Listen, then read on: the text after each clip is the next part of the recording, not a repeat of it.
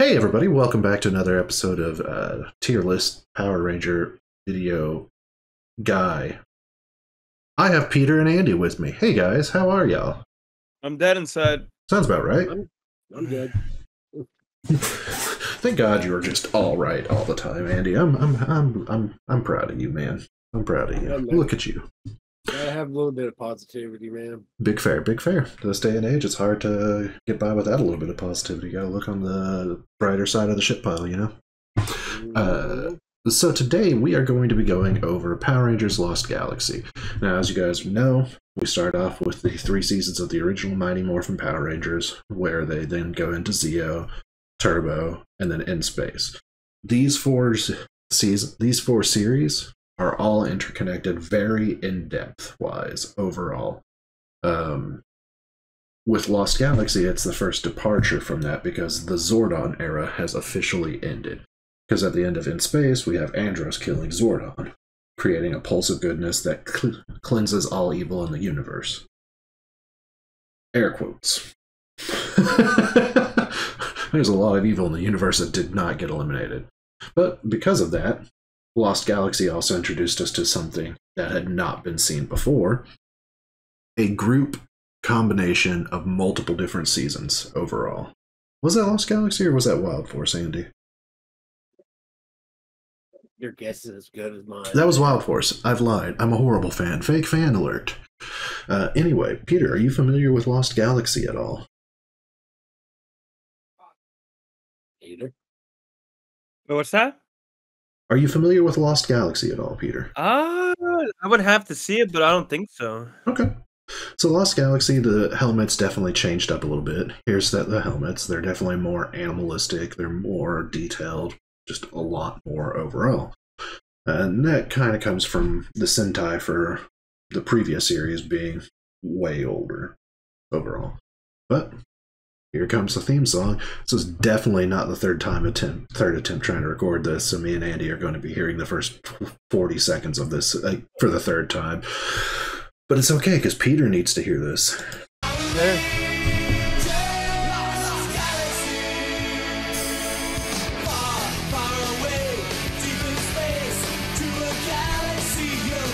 Power Ranger.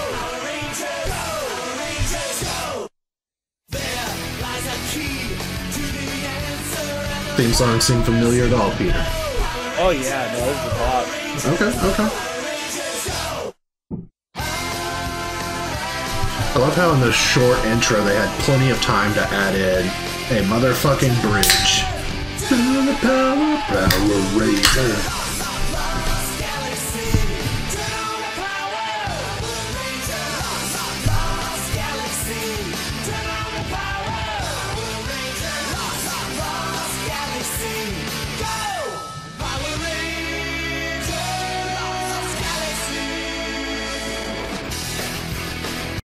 So that's the intro on it. Uh, there's a lot of repetition in the words, I feel, but at the same time, I feel that each set of repetition that they use is in a different style, which keeps the theme song pretty fucking fresh overall. What do you? What are your else inputs here? Uh, Pretty good, pretty good. I don't know. I mean, it's like it's like a B. A B? Okay, that's reasonable. I could agree with a B. It's like one of those songs you would hear on the radio in the background and it would just get stuck in your head. Excuse me. Yeah, I was. I'd say a high B, little A. Okay. So, as you guys know, we transition now to looking at the Morpher. Now, this series Morpher was way different than any other series. Uh, obviously, in the previous seasons, we had been introduced to the wrist morphers and everything like that, but there was always something kind of, you know, I push this and then this and then this, and now it activates. This time they spin wheel. Spin wheel become ranger. Mm-hmm. Which that, that that concept did go on later on to Ninja Storm, but Ninja Storm did it better. So I'm gonna give them a solid C for the Morpher because I think the Morpher's mid as fuck. Yeah. Yeah, yeah. It's not all that impressive. Now, we've got the suits. The suits, why? Wow, that just looks like me as a kid. That's sad. My mom made this. My mom made this for me. Uh, But, you know, so we've got more colors. You know, the main cast has a wider white on their uh, suit than before. I think the most that we really ever saw that much additional color outside of the primary color was in uh, Mighty Morphin with the white diamonds on their suits. So it's definitely an interesting departure. Um, and we look here. Uh, that's not what I want.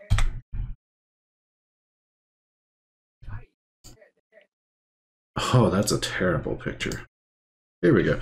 And here here's the fam uh here's the fam unmorphed. This guy so to explain the season a bit to you, this takes place in the future. They live on a space colony called Terra Venture, which coincidentally has the Astro Megaship in it. And they find this girl on the first world where they get their powers. Now, this season touched on a lot of different things overall. One of the things, obviously, is the beginning, the Red Ranger. His older brother was actually the one that was chosen by the lights of whatever it is for becoming a ranger. He was, a, but then his brother falls into a pit and supposedly dies, right? Thus leaving him to take up the mantle of Red Ranger. We've never seen that kind of an intense opening for a season. I think the closest that we got really was going into tur- uh, from Turbo into space with the power center destroyed, everything in ruins, then beat all the fuck to hell going into space. I think that's the only time that we've had that intense of an opening. Um, not to mention, we had two different versions of the Pink Ranger. Now, the reason why there were two different version, two different Pink Rangers in this season, uh, during the series, if I'm not mistaken, the girl that played the original Pink Ranger passed away from cancer. Oh dear. Yeah. And so what they actually wound up doing was they wound up tying this season to In Space by having them recruit Andros's little sister, who was the villain in the Power Rangers in Space. She was Astronema. But once the the wave of goody good feels from Zordon dying erupted, Alright. she became Karone again. And so a lot of transitions in the Rangers in this season entirely. A lot of cool shit, in my opinion. I think suits and the cast and the depth of the cast overall, I would give it an A. Not S tier, A. Fair. That's fair. That's fair. I mean, you would know more about it since I haven't really watched it. So I'll leave that decision up to you. Fair enough. Let's look at the. Oh, by the way, they take heavy inspiration from space. Uh, uh, Starship Troopers, as you can see. yeah. So we got their first morph. Y'all ready? Well,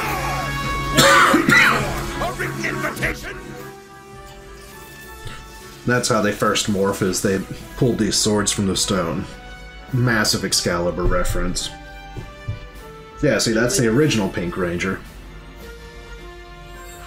Kind of wish they just stuck with it. That's, that's a little bit cooler than yeah. I mean, they still use the swords throughout the series. It's just they're only available post morphed, if I'm not mistaken.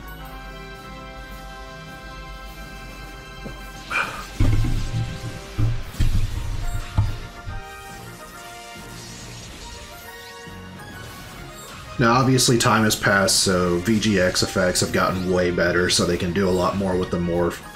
I personally think this is massive step ahead from the previous seasons. Mhm. This?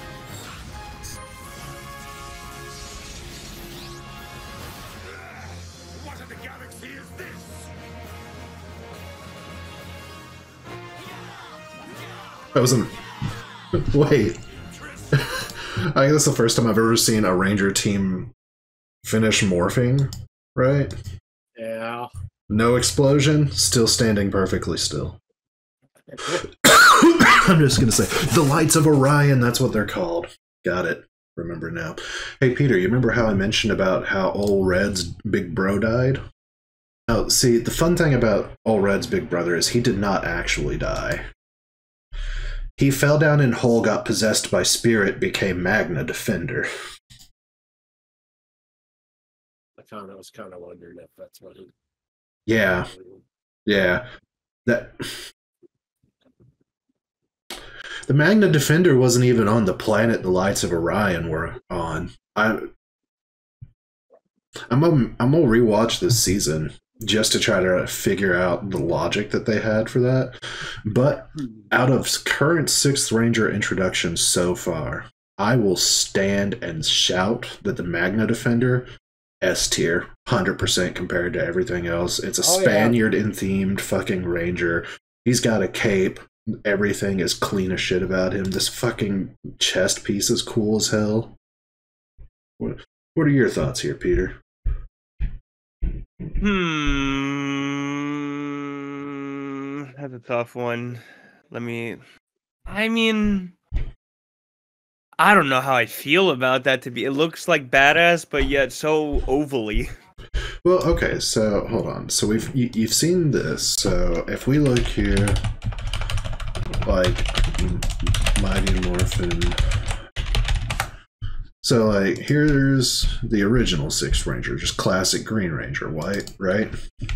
hmm I meant to say white because we're going to the White Ranger next. Right, so we've got that. Zeo had the Gold Ranger.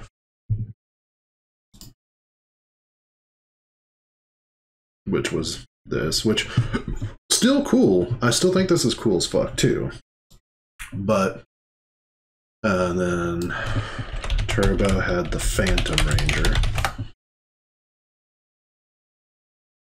as well as Blue Centurion, I think is his name. Yeah, this fucking guy.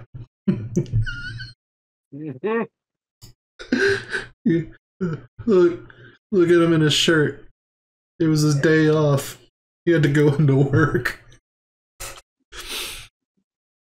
But I mean, like after Turbo, when we went back into space, and space, uh, Silver Ranger, it just became another like promo for the basic team. So to see to see a sixth ranger completely different from the team is just something that was not really seen before this. So now that you've had a little refresher on the other six rangers, Peter, Mm. Ah, man, I don't know, man. I'm, I'm I I don't feel like a fan of this. it's because you. Is it because you don't like bullfighting? I, it's not just. I, I don't know. It's just it's just so bulky. That's fair. That's fair. bulky. However, this is also the first season where we'll get to that in a second. So, uh, I'm getting ahead of myself here. Uh, so the cool thing about the Magna Defender, right, is at a certain point, uh, Leo, which was Red Ranger's big brother, I can remember Leo's name. I can't remember a single other one of their names. Jesus Christ, that's not boding well for the grading for this season. Uh, but he eventually gets his body back, and so he actually does. You do get to see him transform once, right?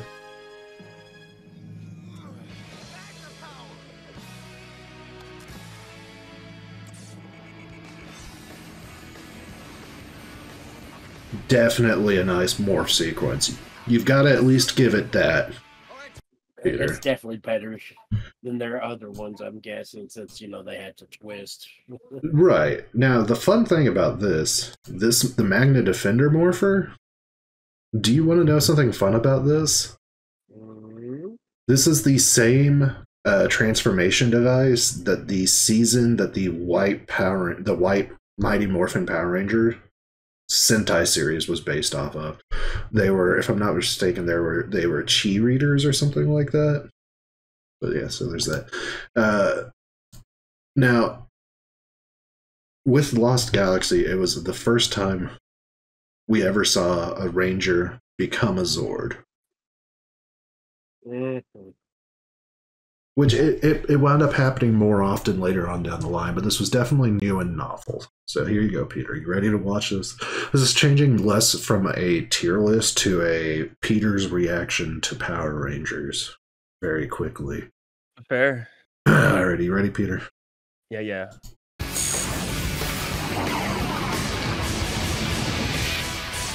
What's he doing here?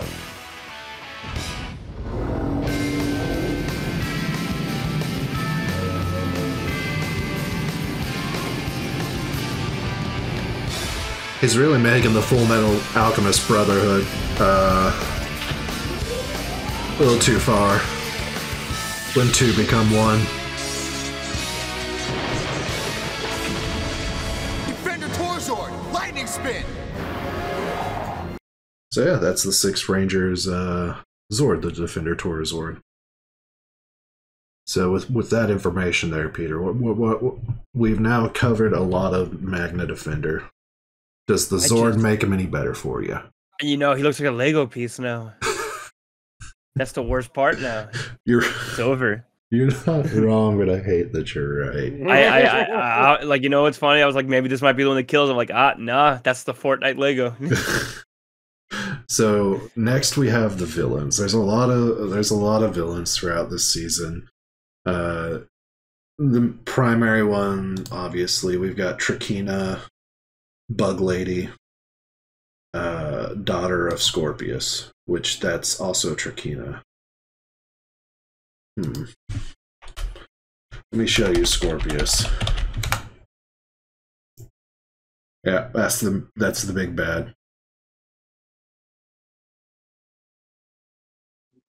Oh God. Look at that great fan art of Scorpius, man. oh dear. He looks more intimidating in this than he does in here. I think it's the scorpion tail.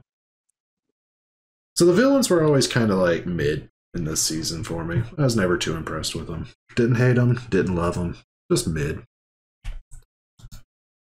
Now, starting at In Space, we were introduced to Battleizers for the first time. So here is the Red Ranger's Battleizer from Lost Galaxy. Peter, you paying attention? no, I got you. This is going to be on the test, okay? Oh, that's, oh god, don't even fucking. That's that's PTSD.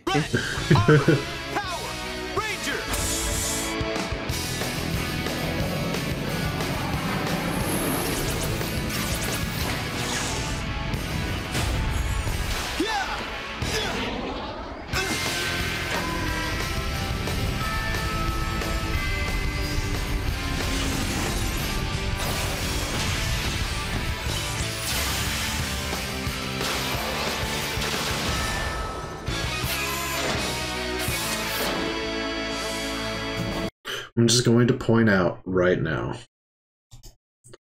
I hate this. Nah. Thematically, this fits with nothing in this series.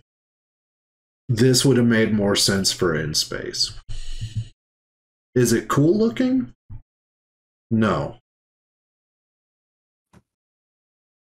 It's It not. does, it does look a little dope, dopey.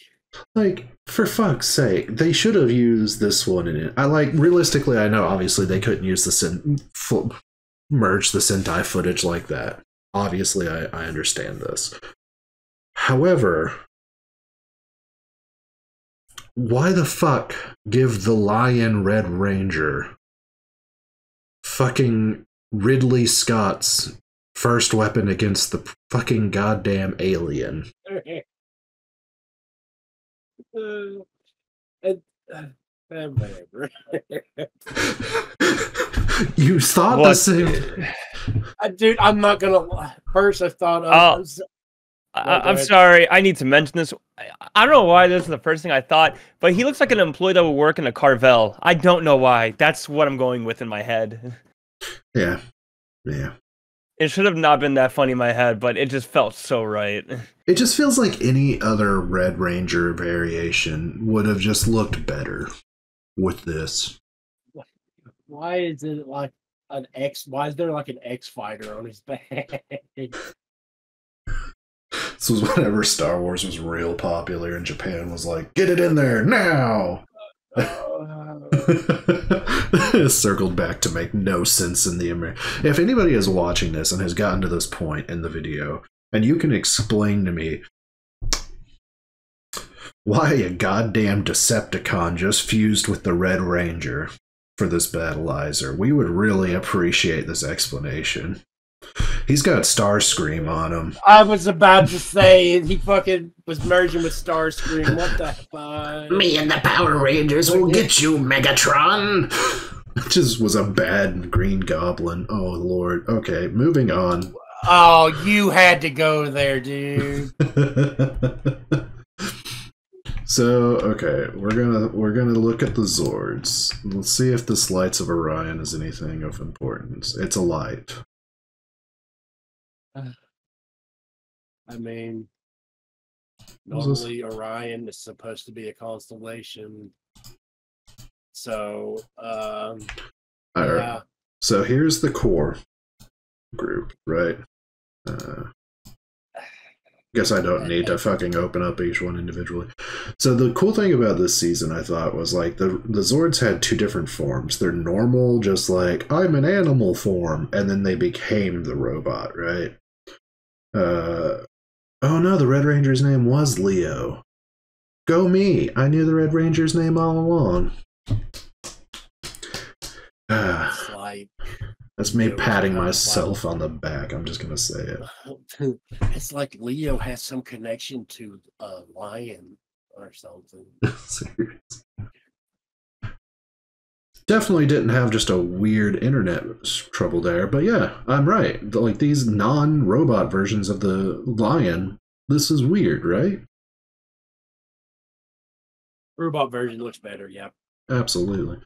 So the Green Ranger this time had a condor. Yeah. That's not a fucking condor. No, it almost resembles. That's a goddamn kaiju. That's a goddamn kaiju. Yeah, just add two extra heads and just call him King Ghidorah. now this is the only one that I thought the non-robot one looked better. When he goes robot, he gets real blocky, and I'm not. It's weird, but like that's cool looking. Uh, we got the Wolf Galacta Beast, where it just looks like a guy in a bad wolf costume, kind of crouching, and way too eager. Also, What? what what is the pink one? What That's a that is Wildcat. what? That looks like a poorly bad rendition of the Sphinx. But like somebody fucking colored it pink. Is this your favorite one, Peter? The wild Wildcat Galacta Beast? I'm just not okay. That just looks like a fucking nightmare. But when they all combine together, they do become the Galaxy Megazord, which somehow has all of the heads visible at once. I don't know how they did this. God damn. Uh, It's We're just gonna go on to the Orion Galaxy Megazord. The Orion Galaxy. It's just extra armor. yeah. That's all it is. It's not even a different Zord. How dare they betray It- me like this? It's just to me, it just seemed like they didn't put too much of an effort in this Megazord. From my from my memory, they got this form as a power up just to the original Megazord. But I don't Yeah, I recall why. it's just it doesn't look too much different from the original. And the original looked way better. That's It looks too much like the Wild Force Megazord to me. Hold on, have you guys seen the Wild Force Megazord? Probably have and just forgot.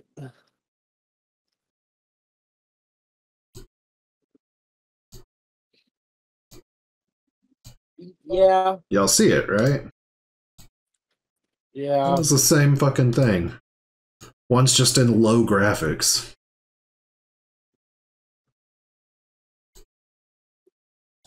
Yeah. now, next we have the Torozord, which is a bull that becomes man.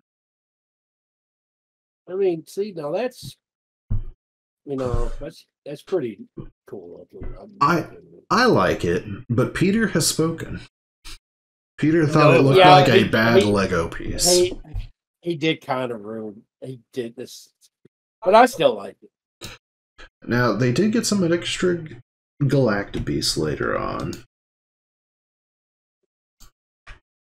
And uh, so they got the Centaurus Megazord, which was the Rhino Galactabeast, uh, Uh, which is a fusion of Tiny Car, Tiny Car, Tiny Construction a tiny car and tiny car.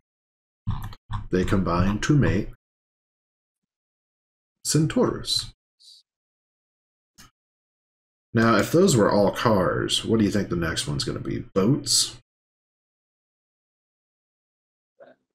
Planes. You got it. We got the Stratoforce Megazord, which is a fusion of oh, spaceships. Okay. a ti- uh, whatever the fuck the pod. Now this is pod racing. Dude, the second one, that one right there, that looks like Captain Falcon's fucking vehicle from Yeah, F Zero. They just borrowed it. Let's give it back. That's exactly what it is. Fuck. This is just a normal spaceship. Mhm. Earth launched a spaceship and it got assimilated into the Stratoforce Megazord. I mean, it, the designs for just the normal, you know, machines that go into it, it still is. I mean, I, Uh, in my opinion, that- these are still cool. Those, they definitely look a lot better than their their normal Megazord. That's for sure. Next, we have the Zenith Carrier Zord. It was a shark what? that then became f- a flying fortress. What? and then it has a warrior mode. So basically, this thing carries around the Centaurus and the uh, Stratoforce mini Zords. You see the little red part there and the blue part there? That's where the divisions are. Mhm. Uh, yeah, that's the Zenith Carrier Zord. You guys can tell how excited I am about all of this. I mean, it's like I said. What? I don't even think they got a few a combination with the Defender Torozord in this season. I feel like the Zords overall, except for the Stratoforce Zord and the Centaurus Megazord, Just are all just kind of mid, yeah. So with Lost Galaxy, there's a lot of good, but a lot of overwhelming bad. I would say this belongs in same tier as Turbo. yeah. I would say dead equal with Turbo. What what what are your thoughts here, Peter? Mm, you know what? I don't mind it being on uh, what's called batter. What's that say? Batterizer? Ba- Battleizer. Oh, battleizer. I give it a B. Okay. Battleizer. Okay. There you have it, guys. Lost Galaxy, despite having some cool aspects, just kind of mid. It yeah. It just the cool Mm. aspects cannot. It doesn't outweigh the weird of the rest of it.